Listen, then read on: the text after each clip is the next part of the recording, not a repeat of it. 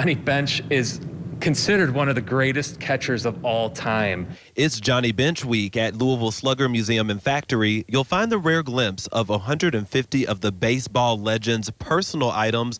They'll be on display here Thursday through Friday. We are celebrating the legendary number five Johnny Bench. Celebrating number five also means $5 museum admission for everyone through Friday. So people can see everything from his baseball diary from when he was in high school all the way to his rookie contract. The items still to come are wide ranging. We checked out this autograph photo of the Cincinnati Reds player with President Gerald Ford during our visit.